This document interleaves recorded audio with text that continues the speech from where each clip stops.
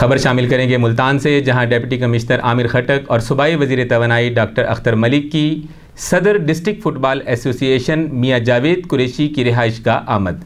ان کے والد کے انتقال پر اظہار تعزیت کیا۔ رپورٹ کر رہے ہیں اشیق یاسین۔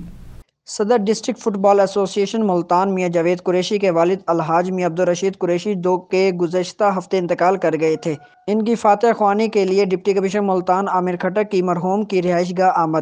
ان کے ہمراہ چیف ویب اور رکن قومی اسمبلی ملک عامر ڈوگر ضلع صدر پاکستان تحریک انصاف ضلع ملتان چودھری خالد جوید وریچ تھے۔ ڈپٹی کمشنر عامر کھٹک اور دیگر نے میاں جاوید قریشی کے والد کے انتقال پر مرحوم کے صاحب زدگان میاں قدیر قریشی، میاں فرید قریشی، میاں خلیل قریشی، میاں خالد قریشی، میاں عابد قریشی اور میاں جاوید قریشی سے فاتح خوانی کی اور مرحوم کے بلند درجات کے لیے دعا کی۔ دنیا اسنا صوبائی وزیر توانائی ڈاکٹر اختر ملک کی میاں جاوید قریشی کی رہائش گاہ آمد۔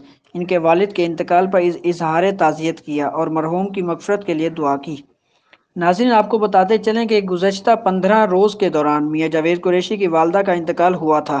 مرحومہ کی کل خانی کی تقریب سے دو دن بعد میاں جاوید قریشی کے والد کا انتقال ہو گیا۔ مرحوم کے گھر تعزیت کرنے والوں کا تانتا بندھا ہوا ہے۔ دعا ہے اللہ تعالیٰ مرحومین کے درجات بلند کرے آمین۔ کیمرہ مین نیر حسن کے ساتھ Ashiq Yasin A N N news Multan.